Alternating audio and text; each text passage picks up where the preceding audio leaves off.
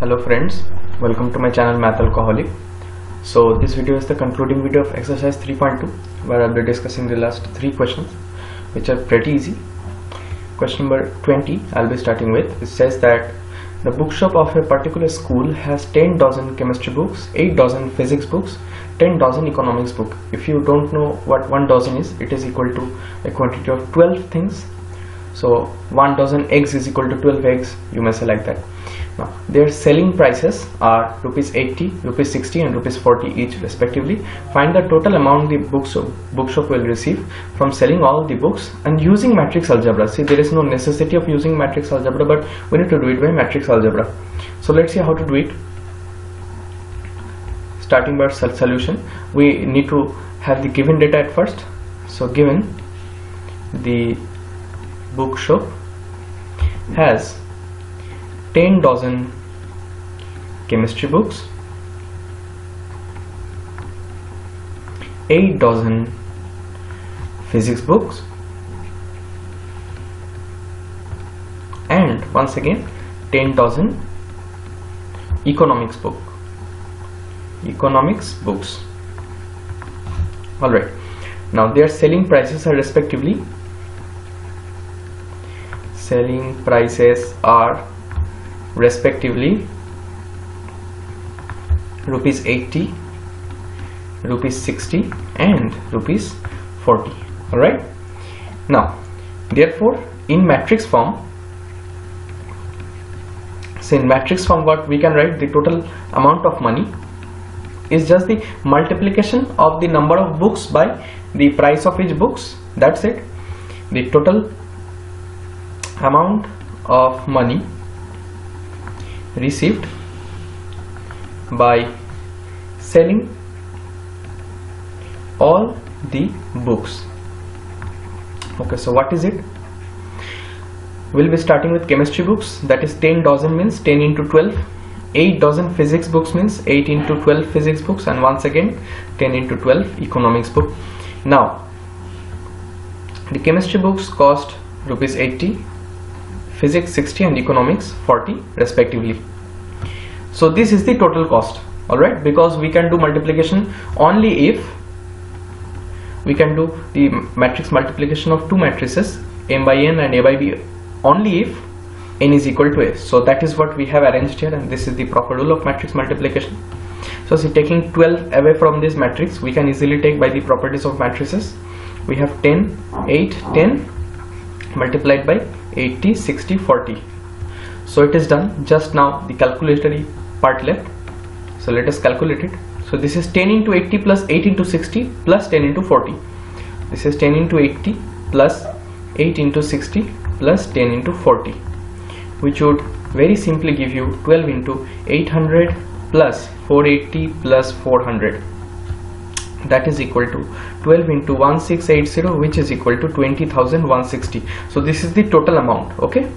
Thus the bookshop will receive rupees 20,160 from the sale of all these books. Okay? All right so this question is completed and it is a pretty easy one. You can do it yourself also. Now coming to the next question. See exercise uh, in these two questions there are 21 and a follow-up question 22 which is just by this assumption this assumption is both for this 21 and 22 so let us see what are these assumptions. X y z w and p are matrices of the order this. So let us list it, list it out. See we will be not doing subjective solutions for objective problems as I've told earlier. So the matrix S X is of order 2 by n, matrix Y is of order 3 by k, matrix Z is of order 2 by p, matrix W is of order n by 3 and matrix P is of, is of order p by k. Okay? So we have noted down the given data. Now the restrictions on n k and p so that py plus wy will be defined. So for py plus wy to be defined friends let us see that first of all p and y the product must have to be possible. Then w and y this product must have to be possible. And finally after we have met the conditions for it to be possible the resultant matrices must be of the equal order.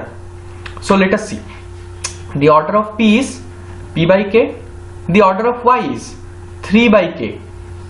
So k must be equal to 3 all right for for the product p and y to be possible as we have discussed in the previous questions. So k is equal to 3 this is justified. Now for w and y this product to be defined what is the order of w that is n by 3 what is the order of y that is 3 by k? So here we can easily get that it can be multiplied for any n and k. Okay? But here k is equal to 3 we have restricted in the first case and here by matrix multiplication the order we will be getting of p p into y will be p by k. And the order we'll be getting from this multiplication is 3 this is common. So n by k. We had discussed how this comes. Now for this to be added to this you must remember that that see the number of columns in both these matrices is equal so p must be equal to n. For this to be additive the order must have to be same. So p must be equal to n. If you have any problem understanding please feel free to use the comment section. It is very easy.